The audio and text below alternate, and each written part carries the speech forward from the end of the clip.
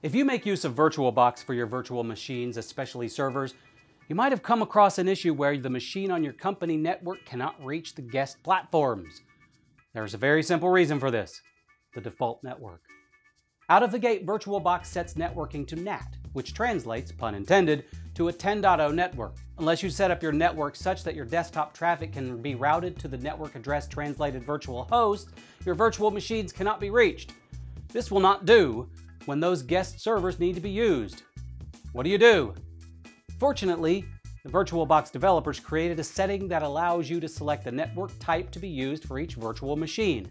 Through this setting, you can select NAT, NAT network, bridged adapter, internal network, host-only adapter, or generic driver.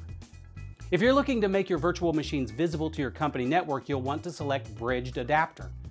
By selecting Bridged Adapter, your guest operating system will work on the same network as does your host. You can then set your virtual machine up with a static IP address, and the machines on your network will be able to reach the server. Simple. VirtualBox makes it pretty easy to deal with networking options. But if you're not sure where those options are or what to do with them, you'll find yourself frustrated when your virtual machine servers cannot be reached.